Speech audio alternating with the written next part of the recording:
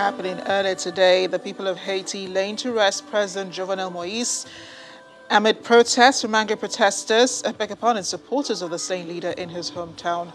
President Moise, as we remember, was gunned down in his home in Port-au-Prince earlier this month, setting off a political crisis in the Caribbean country.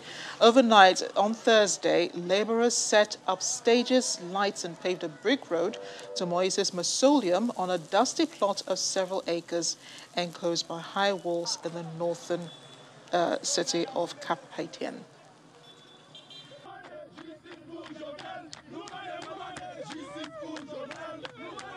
Bye.